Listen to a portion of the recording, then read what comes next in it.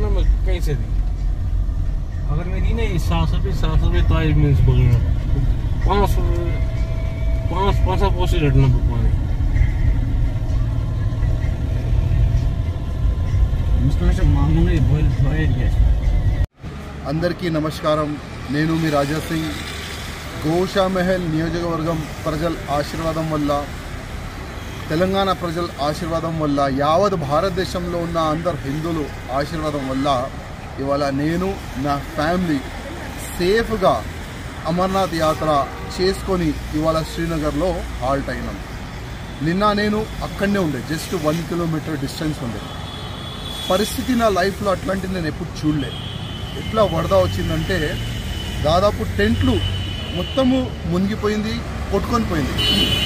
ఏ ప్లేస్లో మేము భోజనం చేసినాం ఆ ప్లేస్ కూడా మొత్తం సర్వనాశనం అయిపోయింది.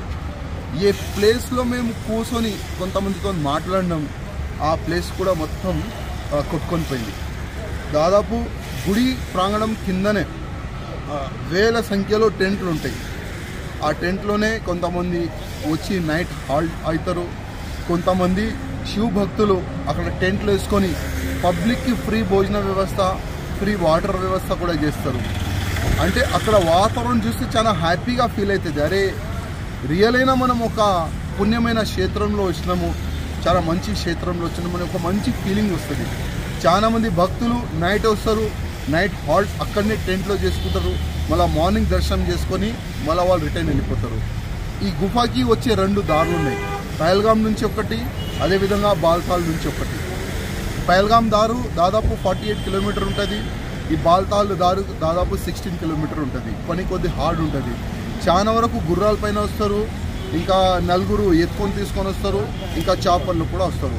అన్ని విధాలుగా ఈ కార్యక్రమంలో పై వచ్చే వ్యవస్థ ఉంటుంది.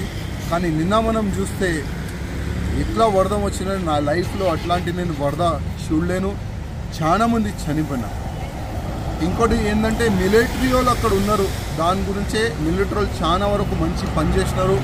చాలా వరకు పబ్లిక్ని మిలిటరీ ఆఫీసర్లు సేవ్ చేసినారు. ప్రతి ఒక్క టెన్ ఫీట్కి ఒక మిలిటరీ ఆఫీసర్ కూడా అక్కడ అపాయింట్ చేసినారు. ఇవాళ ప్రాణహాని ఎక్కువ జరగలేదంటే దానికి మిలిటరీ వాళ్ళ వల్లనే ఎక్కువ ప్రాణహాని జరగలేదని మనం చెప్పొచ్చు. ఎందుకంటే ప్రతి నిమిషంకి వాళ్ళు అలాస్మెంట్ చేస్తున్నారు. ఇక్కడ నుంచి వెళ్ళిపోండి. జల్దీ దర్శనం చేసుకోండి. వాతావరణం ఖరాబ్ అవుతుంది. వాతావరణం చేంజ్ అవుతుంది. మీరు ఇక్కడ వెళ్ళి ఉండేది కూడా భక్తులకి వారు మరీ మరీ మరీ వాళ్ళు రిమాండ్ కూడా చేస్తారు. ఇవాళ అందరు సేఫ్ ఉన్నారంటే భక్తుల వల్లనే కూడా అదేవిధంగా మిలిటరీ వల్ల కూడా చాలా మంది సేఫ్ అయినారు. ఎందుకంటే భక్తులు కూడా చాలా మంది అక్కడ సేవా కార్యక్రమం కూడా చేస్తారు. నేను మళ్ళొక్కసారి మీరందరికీ అక్కడ సేవా కార్యక్రమం కూడా చేస్తారు. నేను మళ్ళొక్కసారి మీరందరికీ హృదయపూర్వకంగా ధన్యవాదం చెప్తాను. ఎందుకంటే ప్రతిసారి మీరందరూ నాకు ఆశీర్వాదం ఇస్తారు. నేను కానీ నా ఫ్యామిలీ కానీ సేఫ్ ఉన్నాం. ధన్యవాదాలు.